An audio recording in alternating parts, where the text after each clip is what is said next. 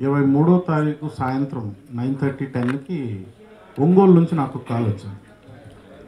ఒంగోలు గోరంట్ల థియేటర్లో ఈ సినిమా అయిపోగానే స్టాండింగ్ ఓవేషన్ చెబుతున్న మిత్రుడు కూడా పా- పాత్రికేయుడే నరేష్ నందమని ఎంత ఎక్సైటింగ్గా చెప్తున్నాడంటే అన్న హైదరాబాద్లో ఏదో ఇంటర్నేషనల్ ఫిల్మ్ ఫెస్టివల్లో నేను స్టాండింగ్ ఓవేషన్ చూసేవాడిని. తెలుగు సినిమాకి స్టాండింగ్ ఓవేషన్ హైదరాబాద్లో చూడండి నేను. అట్లాంటిది ఒంగోలులో చూస్తున్నాను ఏంది ఈ సినిమా. నేను నాకు నచ్చిందయ్యా నచ్చిన తర్వాత నేను నా మాట ఏదో చెప్పేసి తర్వాత వెళ్ళి నేను పడుకొని నిద్రపోతాను అంతకుమించి పట్టించుకోను. ఎందుకంటే నాకు నచ్చే సినిమాలు చాలా వరకు ప్రేక్షకులకు నచ్చవేమో అని నాకు డౌట్ వస్తూ ఉంటుంది అని చెప్పా చెప్పే లేదు ప్రేక్షకులు ఆల్రెడీ థ్యాంక్స్ చెప్పేశారు సినిమాకి కాబట్టి థ్యాంక్స్ మీట్ మీరు కాదు చెప్పాల్సింది ప్రేక్షకుడు ఆల్రెడీ చెప్పేశాడు. ఇంకా రెండోది ఏంటంటే మొత్తం చాలా వరకు ఫిల్మ్ క్రిటిక్స్ రివ్యూవర్స్ సినిమా థియేటర్లోకి వెళ్ళే ముందు ఎంటర్ అయ్యే ముందు ఈ సినిమా గురించి నాలుగు మంచి మాటలు చెప్పాలని కోరుకునే ఎంటర్ అవుతారు. ఏ సినిమాకి. వాళ్ళు కూడా ఈ సినిమాకి థ్యాంక్ యూ చెప్పేశారు. నేను ఈ మధ్యకాలంలో ఎనిమిది నిమిషాలు రివ్యూ ఏ సినిమాకి చెప్పలేదు. ఈ సినిమాకి చెప్పాల్సి వచ్చింది. ఎందుకంటే అన్ని విషయాలు నేను చెప్పడానికి. చెప్పడానికి రెండు మాటలు మూడు మాటలు వాడతాం. నిజంగా మంచి సినిమా వచ్చినప్పుడు మనస్ఫూర్తిగా చెప్పాలంటే చాలా మాటలు వాడాల్సి వస్తుంది. అది ఈ సినిమాలో ప్యాక్ చేసినటువంటి విధానం.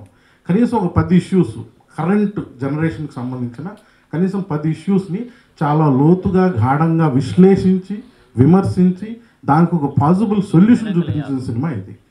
అందుకనే చరిత్రలో మిగిలిపోతుంది సినిమా. ఇప్పుడున్న సమాజంలో విద్యార్థులు కానివ్వండి తల్లిదండ్రులు కానివ్వండి సమాజం వాళ్ళ ప్రగతిని చూసే విధానం కానివ్వండి డబ్బుల్ని కొలిచే విధానం కానివ్వండి సక్సెస్ని నిర్వచించే విధానం కానివ్వండి వీటిని ఏది తీసుకున్నా ఈ సినిమా ఎక్కడో దగ్గర ఎగ్జాంపుల్గా కోట్ చేయబడుతుంది. అంత కోటబుల్ కోట్స్ లాంటి సినిమా ఇది. అందుకనే ఒకటి Venu is a friend of mine తన ఒక కవి. కవి సినిమా తీయడం అంటే పెద్ద ప్రమాదకరమైన పరిస్థితి అనుకునేవాడిని నేను. ఎందుకంటే ఏదేదో లేయర్లో ఆలోచిస్తాడు అతను. ఒక లైన్ రాస్తే దాంట్లో పది అర్థాలు ఉన్నాయని వెతుక్కోండి అని చెప్తాడు. ఇట్లాంటి మనిషి సినిమా తీస్తే మోస్ట్ కాంప్లెక్స్ ఫిల్మ్ అవుద్ది ఎవరన్నా చూస్తారా లేదు నేను చూసినా నాకు అర్థం అవుతుందని డౌట్ నాకు ఫస్ట్ కవి సినిమా తీయడం అనేది ప్రమాదం.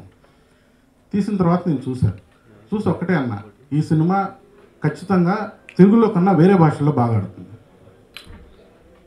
ఎందుకంటే తెలుగులో ప్రేక్షకులు నిజంగా ఇది ఆదరిస్తారా అనే నాకున్న డౌట్ నా డౌట్ని పటాపంచలు చేసి నేను ఎదవనని నిరూపించిన తెలుగు ప్రేక్షకులు ధన్యవాదాలు. నెక్స్ట్ చెప్పుకునేది ప్రొడక్షన్ హౌస్ అసురా కానివ్వండి అప్పట్లో ఒకటి ఉండేవాడు కానివ్వండి ఈ సినిమా కానివ్వండి. అప్పట్లో ఒకడు ఉండేవాడు ఈరోజు కూడా హిందీలో తీస్తే వంద కోట్ల సినిమా.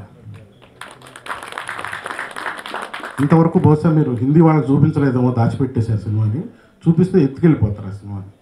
ఆ సినిమా రైటింగ్ టైంలో I was part of discussion team దాంట్లో అన్నాను కుర్రాడు మరీ లేతగా ఉన్నాడు ఇంత బరువైన పాత్ర మోయగలడా అని సాగర్ అన్నాను శ్రీ విష్ణు అది ఒకటే చెప్పాడు.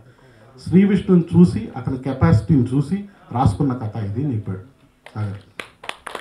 దానికి రెండే రెండు ఉదాహరణలు సినిమాలో మనకి ఈ రోజు కనపడేది. ఒకటి ఆ switch hit shot cricket and క్లైమాక్స్లో కూతురు అని తెలియగానే మామూలు డ్రమాటిక్ సినిమాలో అయితే ఇల్లు కౌగులించేసుకోవడాలు ఇవే ఉంటాయి అలా కూలబడిపోతాడు ఆ కుట్రాడు అది నటన ఈ రెండు సీన్లు చాలా ఆ సినిమాని అప్రిషియేట్ చేయడానికి.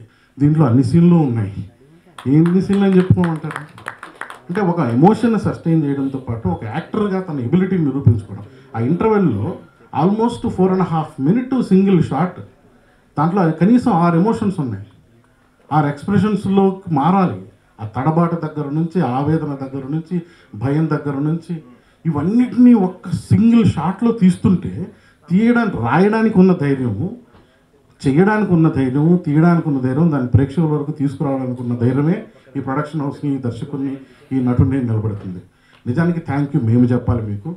Thank you for giving such a great film for Telugu audience. Thank you. Cinema